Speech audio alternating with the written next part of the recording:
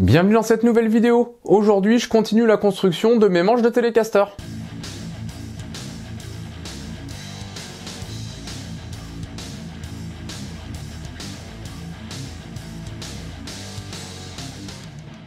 Pour les nouveaux, bienvenue sur ma chaîne YouTube, je m'appelle Vincent Brun, je fais des tutos lutherie, du do it yourself et plein de choses qui tournent autour du thème du bois. Si vous n'êtes pas encore abonné à ma chaîne, eh bien pensez à le faire et activez la petite cloche pour être au courant des dernières vidéos que je mettrai en ligne. Aussi, si vous aimez mes vidéos, eh bien mettez-moi des petits pouces bleus, ça m'encourage à continuer. Et puis pour tout savoir du matériel que j'utilise dans mes vidéos, eh bien ça se passe dans les liens en dessous, dans la description. Donc aujourd'hui, on continue les manches de télécaster et comme j'ai terminé eh bien, de faire les traits de scie pour positionner les frettes, je vais maintenant pouvoir détourer mon manche. Sur le manche avec la touche rapportée, c'est exactement ce qu'il me reste à faire. Je vais détourer le manche. Je vais le dégrossir avec ma scie à ruban, puisque j'ai enfin reçu ma lame à chantourner. Ensuite, avec mon gabarit, eh bien, je viens le mettre pile poil aux bonnes dimensions, et je pourrais venir coller la touche. Sur le manche en une pièce, c'est un petit peu différent, puisque si je le détourne tout de suite, eh bien, je vais perdre mes bords de référence. Et en fait, je vais avoir besoin de garder mes bords de référence eh bien tout simplement pour rattraper une boulette que j'ai faite. En fait ici il va falloir que je passe le truss rod. Alors pour l'instant je peux pas le mettre parce qu'il faut d'abord que j'abaisse ici l'épaisseur de la tête à 1 cm et demi, hein, ça c'est l'épaisseur finale. Alors je vais l'enlever de ce côté-là, un côté fret. Je vais enlever de la matière pour laisser plus qu'un centimètre et demi. Et une fois que ce sera fait, eh bien je viendrai percer ici pour retrouver le canal du truss rod. Ça va me permettre de le mettre en place.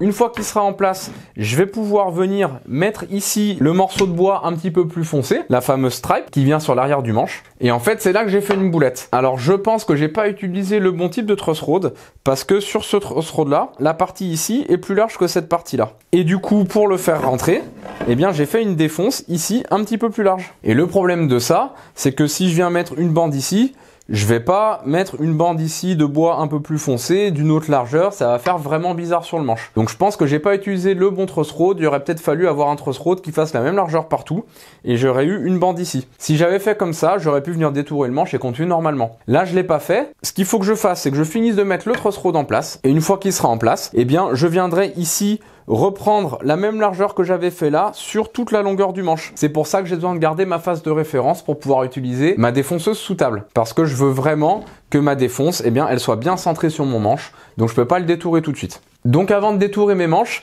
eh ben, je vais d'abord terminer de mettre le truss rod sur le manche en une pièce.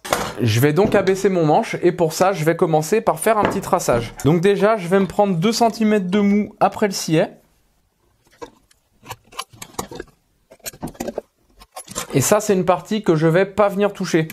En fait, je vais réduire l'épaisseur de la tête là, et sur les manches type Fender, ici, il y a un petit arrondi entre les deux, donc je laisse la place pour ça. Je vais maintenant venir tracer une épaisseur de 1 cm sur le manche, et donc c'est 1 cm à partir du dos du manche.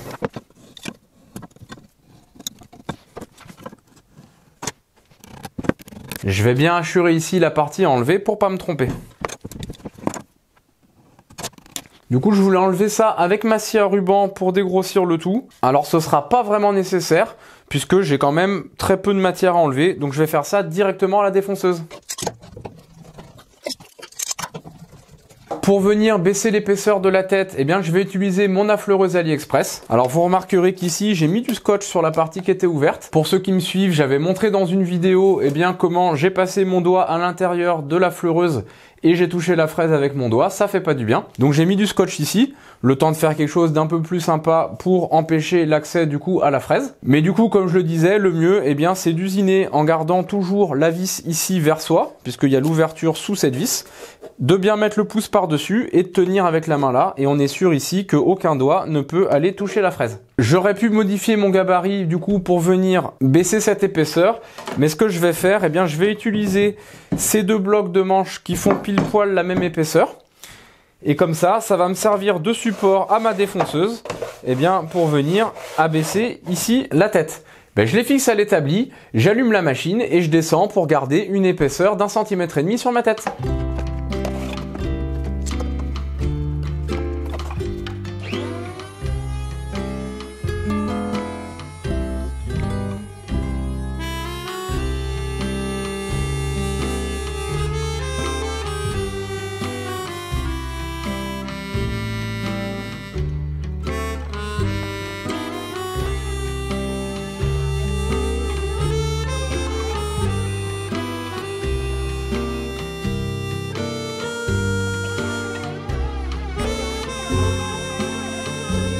Et eh ben c'est bon, j'ai fini de dégrossir avec mon affleureuse, alors ça fonctionne plutôt pas mal. Simplement ma plaque en plexi est un petit peu trop souple, on voit un petit peu des rainures, mais je me suis tenu un tout petit peu plus haut pour terminer ça au rabot. Autre chose, hein, la fleureuse elle chauffe quand même pas mal. Hein. Donc finalement j'aurais sûrement dû d'abord y dégrossir avec ma scie à ruban et venir faire uniquement une finition avec la fleureuse, voire même directement au rabot. Je vais vous montrer ça d'un petit peu plus près.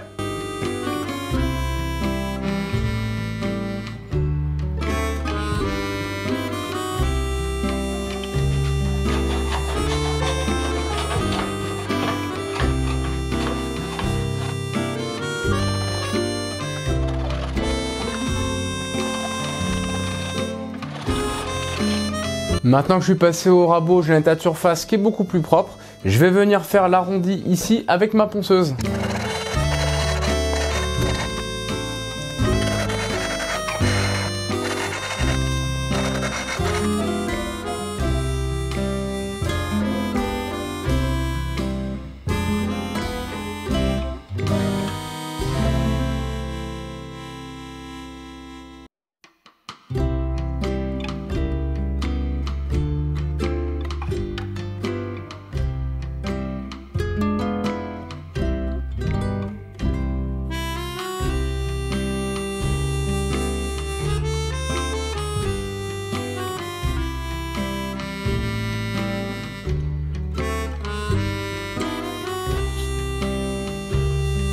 Et eh bien maintenant que c'est fait, je vais pouvoir venir percer ici pour rejoindre le canal du Truss Road.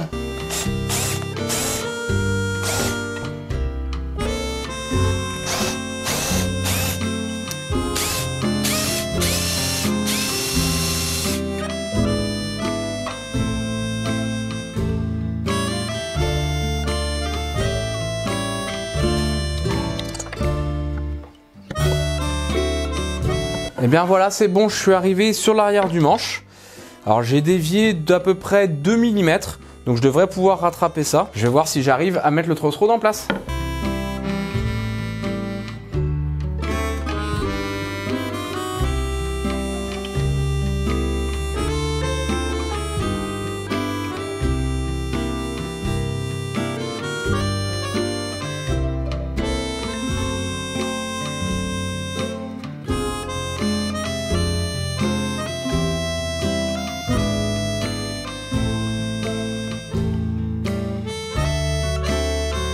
Bon, c'est pas ce que j'ai pu faire de mieux niveau finition.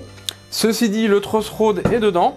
J'arrive à y accéder avec ma clé, sans problème. Il va falloir que je fasse attention quand je viendrai faire l'arrondi du manche, de pas venir mettre à jour des parties qui seraient creuses. Ce que je vais faire, je vais venir coller une bande d'érable ici à l'intérieur sur toute la longueur pour boucher le trou et je viendrai ensuite faire une défonce plus large pour mettre mon autre bande. Ça me permettra d'être sûr de bien tout masquer. Encore une fois, faut pas que je perde ma phase de référence. Ma phase de référence, c'est celle-ci. Je peux venir donc récupérer de la matière ici. Je vais pour ça venir découper une bande avec ma scie sous table. Je viens donc de découper une bande sur mon manche et je vais venir la rectifier un petit peu au rabot pour pouvoir la mettre à l'intérieur de la fente. Avant ça, je vais regarder la profondeur du truss et je vais la noter sur le manche pour être sûr que quand je viendrai faire la défonce, que je ne vienne pas toucher le truss.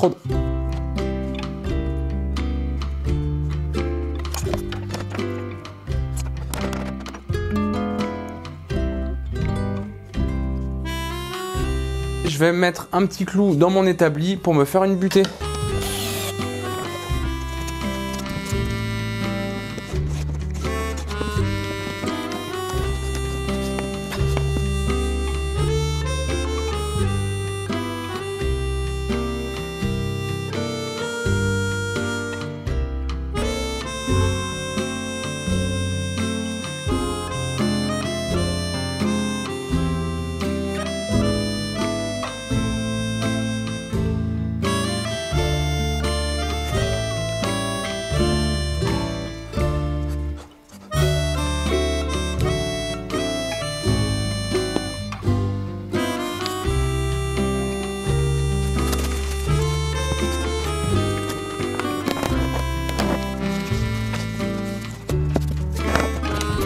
Je vais laisser sécher et puis je vous retrouve après.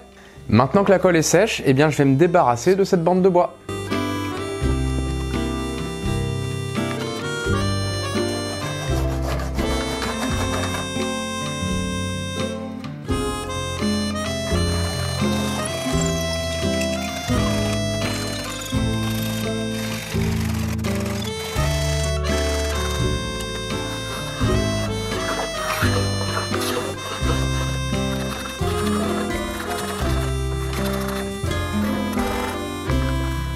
Maintenant que j'ai tout bien remis à plat, je vais pouvoir venir faire un petit coup de défonceuse ici sur cette plaque de truss rod à la largeur que j'ai là pour pouvoir mettre mon insert en bois. Je vais faire attention à pas aller trop profond pour pas toucher le truss rod. Donc pour ça, je vais suivre les profondeurs que j'ai notées sur mon manche.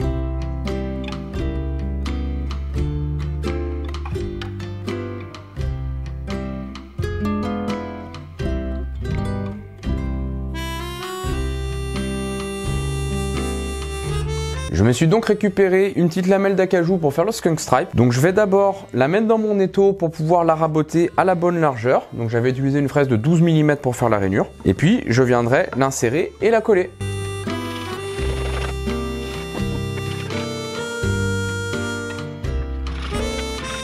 L'épaisseur de mon morceau d'acajou est parfait pour rentrer dans la petite rainure. Je verrai si j'ai besoin de l'ajuster encore un petit peu. Je vais déjà le couper à la bonne longueur et faire les arrondis.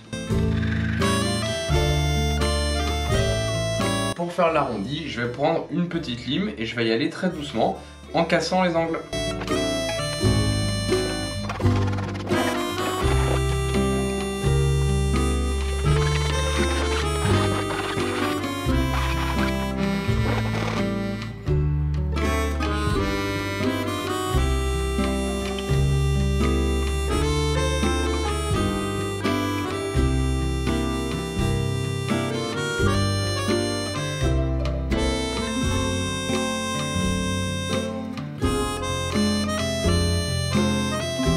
J'ai terminé de faire les arrondis sur ma petite bande.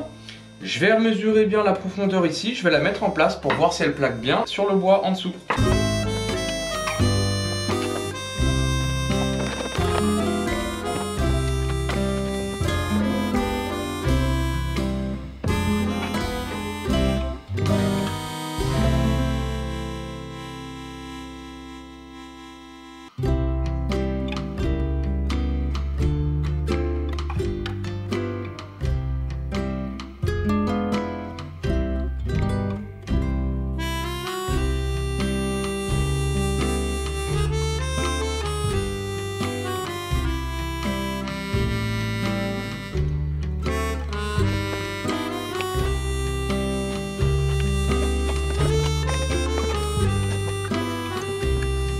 Je viens de mettre des serre-joints, je vais maintenant pouvoir laisser sécher.